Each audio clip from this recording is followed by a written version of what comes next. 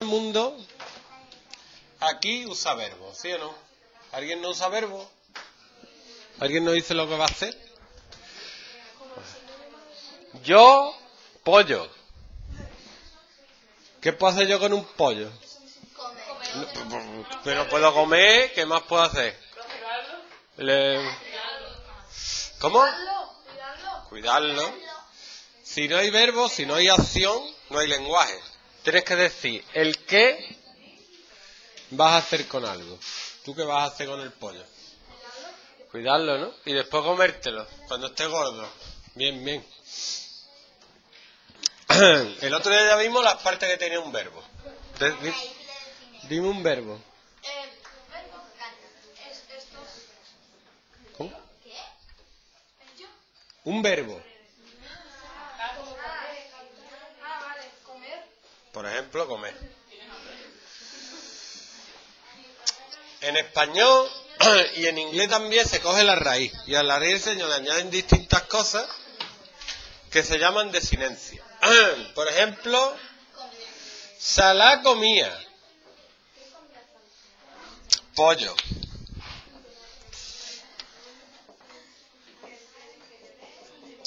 La raíz es la parte que no cambia. Y la desinencia es la parte que cambia.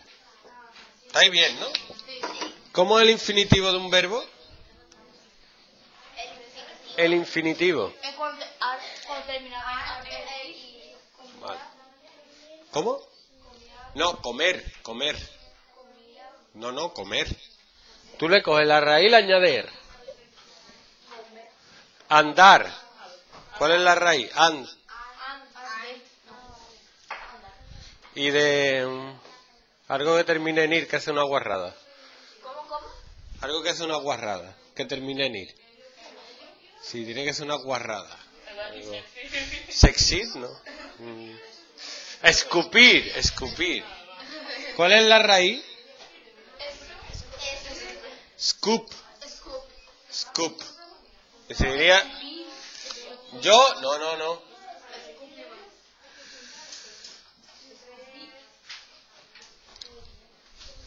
Pero la I. Yo escupo. Si os venís por aquí a las 8 de la mañana, pasan los hombres mayores ahí, podéis tener un concierto bastante agradable. Sí. Pues yo antes cuando venía del instituto estaba en una casa y se oía un sonido muy mal. Ah, no, sí, eso. Pero más fuerte, pero más fuerte.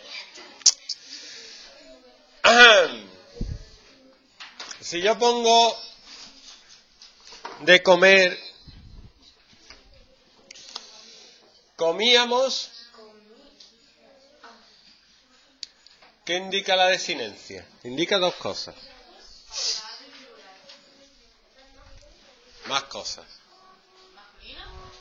No, eso no. No, eso no. Indica dos cosas. El número y la persona. Y otra cosa más que luego la vamos a ver. Pero ahora el número y la persona. ¿Qué número hay? Te dicho el tiempo. Número hay primero, Segundo. segundo, cuando eres tú, y tercero, cuando es uno que no está aquí. Este es para criticar. Cuando no está aquí se le critica. Este es para decirte las cosas a la cara. Y este cuando quiero decir algo de mí. Ego, egocéntrico. Yo soy guapo. Y luego dos tipos de personas. Cuando estoy solo. Singular. ¿Cómo? Venga, otra vez. Blue. Ral. No, Ral no, Ral. No, Ral no. Romper Ralph es otra película. Plural. Que cuesta. Es que la R no es siempre R. Cuando va con otra letra delante R. R. El otro nos enseñaba a decir R. Plural. Es difícil. Plu. Plural. No, lar no, al revés, ral. Venga, di ral y ya aprender a decir plural. Ahora di plural. ¿Eh? Ha dicho bien, ¿no? ¿Cómo es? ¿Cómo es? ¿Cómo es? Dicho bien. ¿Cuánto ha tardado? Poco. Cinco segundos. Normalmente las cosas parece que no van a costar más de lo que parece, pero luego cuesta 10 segundos y que alguien te lo repita dos o tres veces. Entonces esto da lugar a las tablas de inglés que tenemos primera del singular, segunda del singular, tercera del singular, primera del plural, segunda del plural y tercera del plural. Yo, tú, él. Ella, que si no me cogen la feminista, nosotros, nosotras, Vosotros, vosotras. Ellos, ellas. Bueno, pues esto es lo fácil, ¿vale? Esto no tiene nada. No. ¿O sí? ¿No? Lo que sí viene después, que todo el mundo se lo tiene que aprender tarde o temprano, coja apunte, que pasa estoy escribiendo. Si escribo yo, tú también.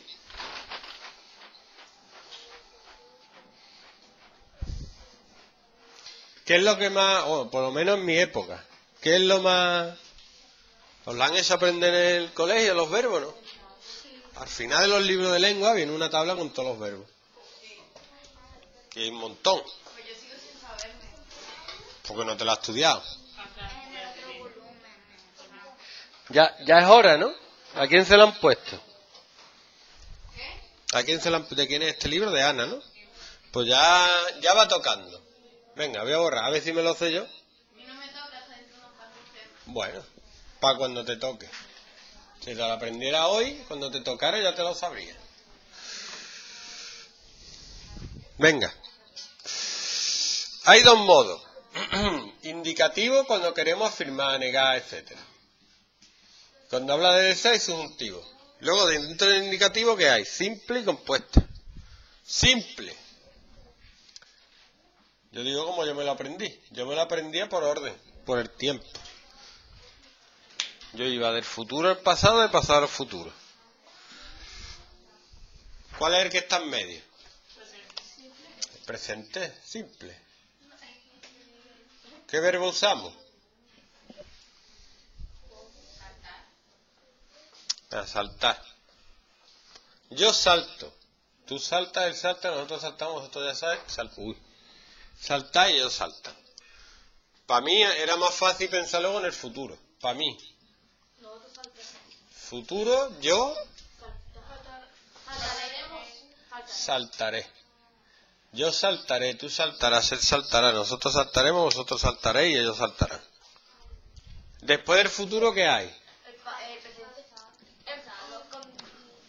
Más allá del futuro, sí hay. condicional. Yo saltaría si me dieran dinero. Pero como no me dan dinero, pues no salto.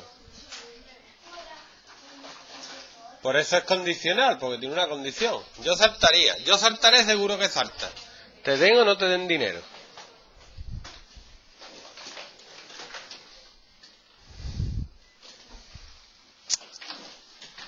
Luego, ¿cuál viene? Estos son los fáciles.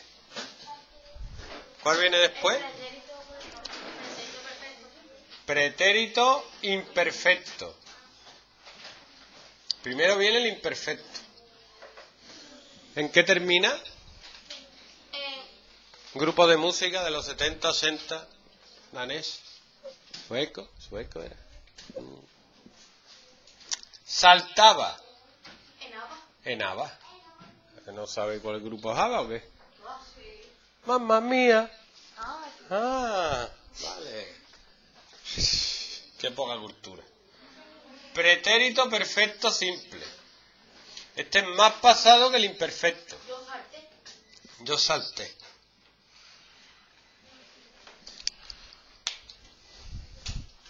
¿Tiene algo de lógica o no? Para mí tiene toda la lógica del mundo. Yo salté ayer. Yo saltaba esta mañana. Yo salto ahora, yo saltaré mañana y yo saltaría si me pagara. Como no me paga, no voy a saltar. Ni hoy, ni mañana, ni ningún día. Yo salté ayer, yo saltaba esta mañana, yo salto ahora, yo saltaré mañana. Saltaría. Y los nombres, imperfecto y perfecto. Está.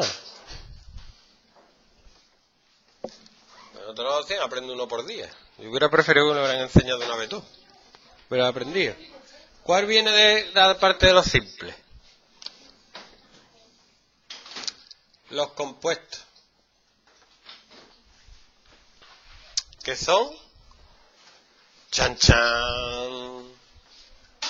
Bueno, ¿por qué son compuestos? Pretérito perfecto compuesto. ¿Por qué son compuestos? ¿Mm? Porque tienen dos formas. Tiene el verbo haber y el participio. Yo he saltado.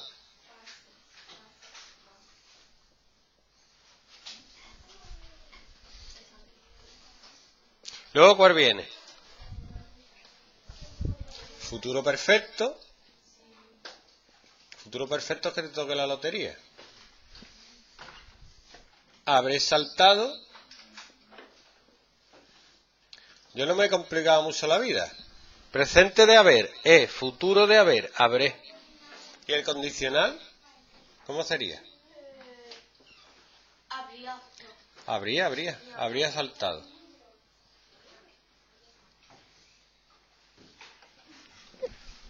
Uy, saltada.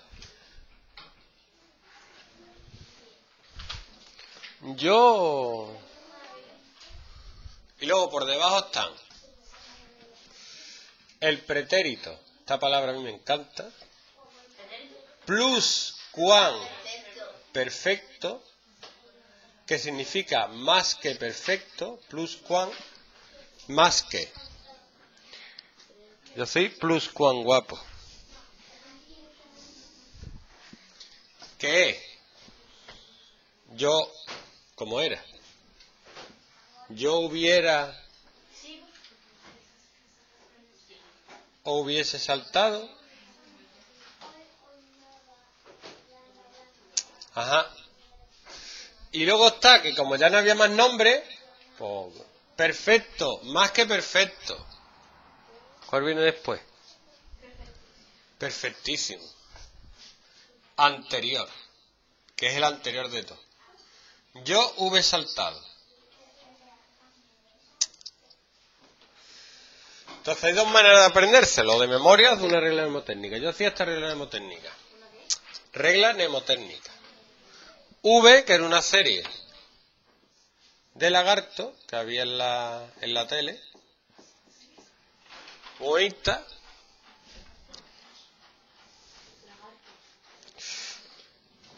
Ya me he equivocado. De este no me acordaba yo. Estoy con el subjuntivo. Yo había saltado. Y me he acordado porque en mi regla mnemotécnica yo me subí a una vía de tren. Yo con eso ya me acuerdo. Porque con este tenía problemas. Todavía los tengo.